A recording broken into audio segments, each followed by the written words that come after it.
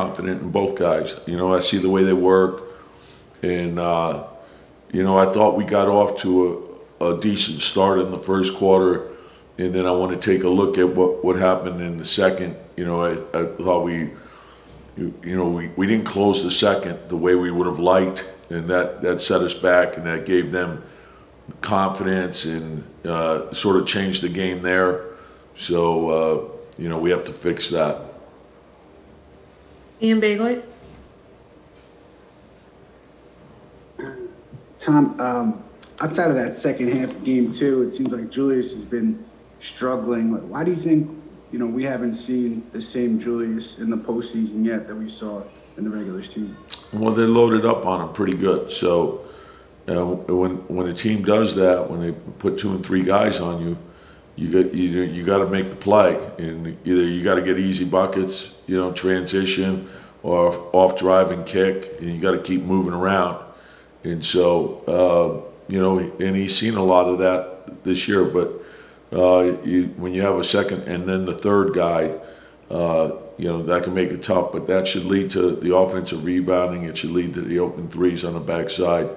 So uh, we got to trust the pass. Marc Berman? Hey, Tom, what finally led you to start Derrick? And do you feel that at least worked out? Well, uh, you know, the thing is, is he's been playing basically starter minutes for a while. So I, I think the the big thing was the start of the games, trying to get off to a good start, particularly on the road. Uh, but then, you know, then we had the problem in the second quarter. So we got to take a look at that. Steve Popper?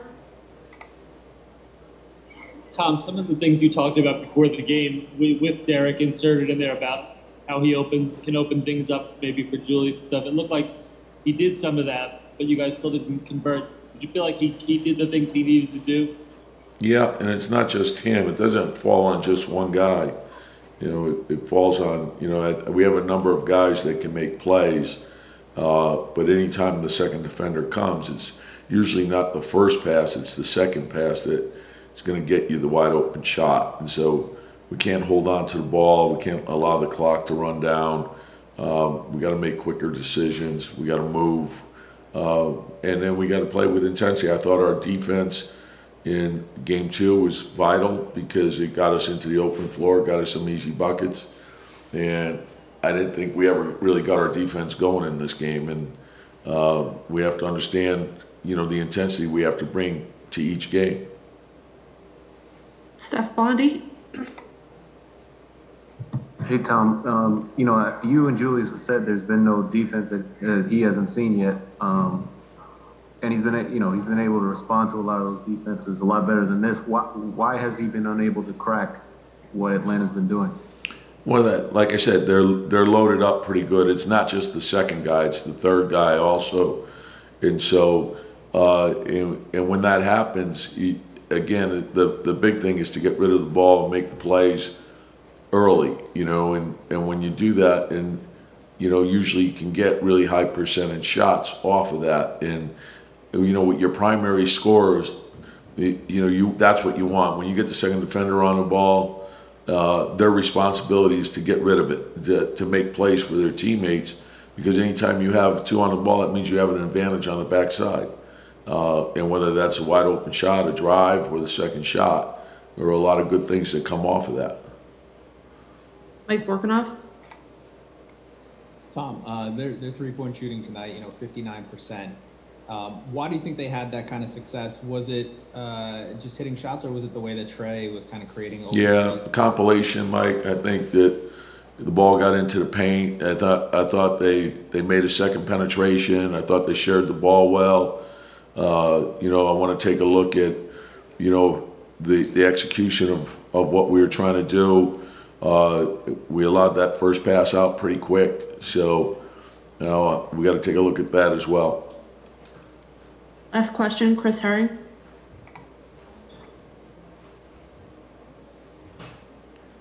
Hey, Tom. I, I, guess I wanted to ask you, you kind of alluded to it a little bit with just the decision on Derrick and, and kind of how making him available so early to start a game obviously um, that that pays dividends, but at the same time, it kind of makes stuff a little bit more difficult with the second quarter. You, you guys, I think, got more out of your offense than really anybody expected. The team, on some levels, had a season that very few people expected. Is it? Do you feel like in some ways you kind of have to? You're squeezing as much as you possibly can out of the team, and kind of where is the team ceiling relative to kind of what you guys have done? I'm sure you feel like you can get more out of Julius and RJ with different looks and stuff. Yeah, like and I trust that we will. And I see the way these guys work every day, and I see how they approach things. And their their attitude is very upbeat, and their work ethic is second to none. Um, so we'll, we're disappointed, obviously, in the way we played, and we'll take a good hard look at it and come back with more determination in the next game. And you know, we have great belief in each other. Like the our bench is is, is very good. Uh, so they, but, but they went through an adjustment in this game also. So we have to settle settle that down, and uh, hopefully we'll play better on Sunday. Julius, how would you assess kind of what you saw out there tonight from you guys and just from yourself?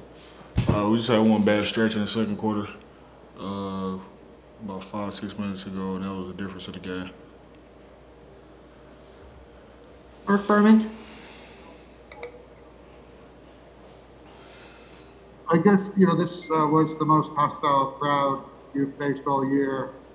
Um, do you feel you guys didn't adjust to uh, playing on the road against a, you know, close to a, a packed house? No, I don't think we're really worried about the crowd. Uh, just worried about what's going on on the court. Uh, how do we adjust and get wins? Uh, we didn't do that today, so we got to do it next game. Mike Vorkunov?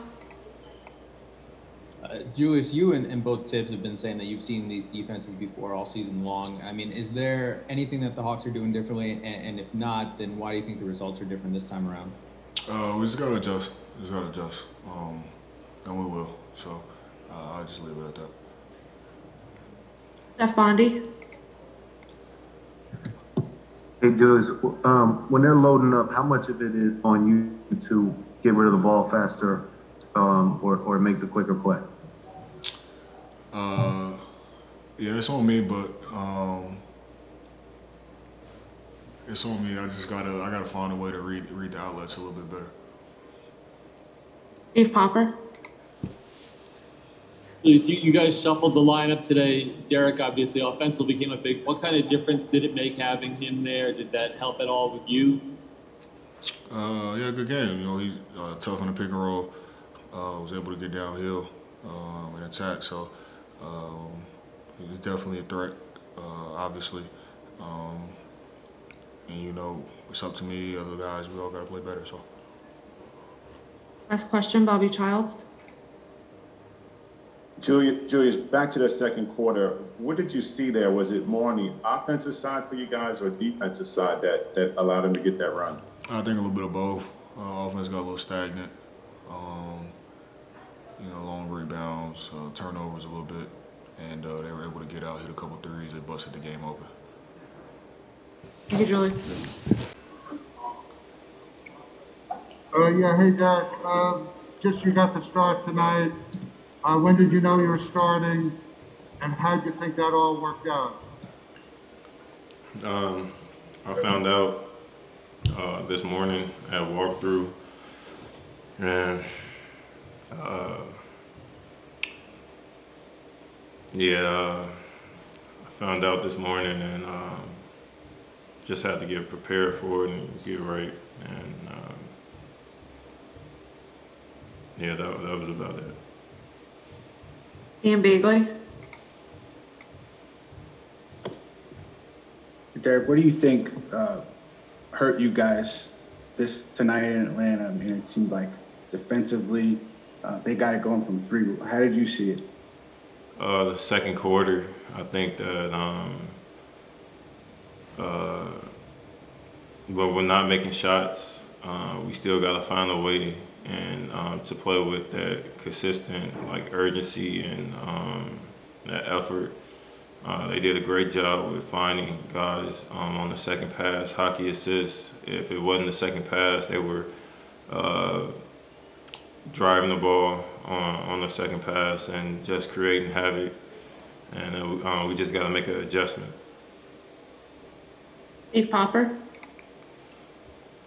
Derrick, Tom was saying in that vein on defense that uh, maybe guys were not, the intensity was not where it needs to be.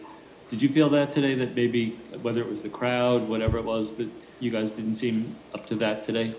Yeah, uh, uh, it was the second quarter, I think. Um, the first quarter, uh, we kind of played de- um, decent. Um, the second quarter, that's when everything um, uh, kind of fell apart, and they got they gained confidence. And uh, it, it was around the time that we wasn't making shots. I think they outscored us 20, 20 something, uh, high 20 something to uh, like 12 or 13 or something like that. And uh, we just got to find a way to um, just grind it out when we're not making shots. Um, we can't, like I said, we can't play lackadaisical on the on the defensive end if um, we know that uh, we're not getting easy baskets. Um, do anybody know how many fast break points we had today? Zero. Zero. Zero. Oh, we had zero. So yeah, um, in, in the playoff games, you in these playoff games, we got to find ways to get an easy basket. And tonight they did a great job with um, um, getting back, and I think that we didn't look to push the ball in the open court enough, especially when it was misses. Steph Bondy, Hey, Derrick, all season, you guys been relying on uh, Julius and RJ kind of as your one-two punch, um, but they've, you know, it hasn't been the case in the playoffs so far. What do you see there? Why why isn't it happening the way it's um, it did in the regular season for those two? Uh, you know, I really can't put a finger on it, bro. Uh, uh, they're they're they're doubling from weird spots. Um, they're coming from sometime the top, sometime mostly baseline. But if they make a move towards the top, their guys are um, doing a good job of just being in right there, uh, or just making sure they don't get a clean lane or a clean look. And um, that's what I mean, fast break points. Like uh, when you know that um, teams are keying in on you like that, we got to find ways to get you or get them to easy baskets or anybody easy baskets. Um, and you get it mostly in the open court um, when the defense isn't set and um, when they don't have their when they're not locked in on you like the way they've been. Working Vorkunov, Derrick, uh, you guys have tried, it seems like a, a bunch of different coverages and pick and roll defenses against Trae, and, and today it seemed like he even didn't wait for the screen to come. Uh, is there anything else that you guys could try to try to slow him down, and just what have you thought of the way he's played? Oh, he's been playing great. Um, but no, we I, think we got um, a few more coverages, but um, they were just knocking down shots. I think they shot they by halftime they was fifty percent. Uh, we wasn't talking. Um, we wasn't making a sec- second or I wasn't. I know a few times I didn't make the second or third effort um, to contest shots and. If you're not making them plays um, with a shooting team like this, there's no way you're going to win games. So last question, Jamie Harris. Um, Derrick, you've seen Julius play with so much confidence this season, um, but do you sense him being a little hesitant and losing confidence in his perimeter shot? I wouldn't say that. It's just that he um, got to make smart decisions. Like right now, um, he's getting off the ball early. I think throughout the game, he has to um, pick pick and choose when to um, pick his spots. And like I said, it goes back to getting out early. We have to get out early so that he can um, get lost um, within the game, and they don't have all the eyes on him when we're in the half court. So we got to find easy, easy ways to get them baskets or good looks. Thank you, Derrick. Barrett's here. If you have a question, raise your hand and I'll mute you.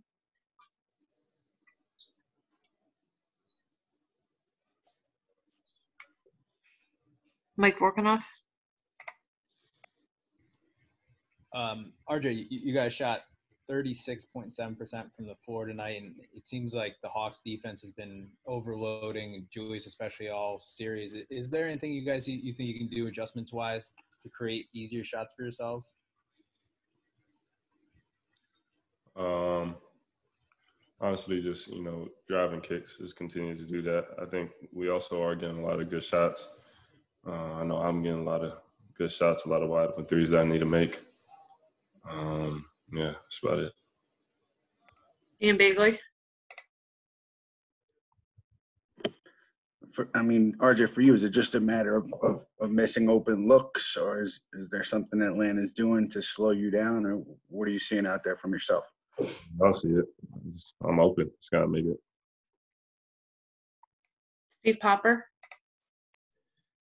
RJ, on the other end, Tom was saying he thought maybe in that second quarter, especially maybe the intensity defensively kind of lagged a little. Do you guys think the shooting troubles maybe got guys frustrated or something? I wouldn't necessarily say that. Uh, I think, you know, it was like a it was like a tie game with like I don't know five minutes left in the second, and then they kind of went on a run. I mean, runs happen. Um, you know, we just we can't let them do that. You know, we gotta continue to fight, and um, there's no way they should be, you know, uh, going on a crazy run like that, scoring that many points. Marc Berman? Hey, RJ. Yeah, they really showed their three-point shooting tonight. I mean, how difficult was it? Was it defense, or they were just making great shots? And what's the mood of the team right now? This was kind of a blowout uh, for for the second half. I mean, they they made shots. We didn't. They won the game. Steph Bondy? Hey, RJ, the, the playoffs here are, you know, not only the the intensity ratchets it up because postseason, but now all of a sudden there's a crowd, whereas there wasn't before. How much does shot making have to do with pressure and, and being able to handle that? I don't know. Uh, I mean, a crowd's a crowd. You know, we play basketball. We've been doing this since we were kids. Crowd is not. A crowd's not going to stop us from from playing basketball. Uh, you know, we'll just we'll come back next game. You know, we'll be ready. Last question, Tom Marion? RJ, how much of an adjustment was it to have a new starting lineup tonight? Sorry, I didn't really hear that. Much of an adjustment was it to have the new starting lineup tonight? To have who? Um, was, a different starting lineup. Uh, I think we actually we started the game out pretty good. I mean, we had a good first quarter. We were out at the end of the first quarter. So I mean, you know, doesn't really matter whoever we have out on the court. You know, that's what that's that's who it is, and and we got to go with that. We got to trust coach. We got to trust each other, and just go out and execute. Thank you, RJ.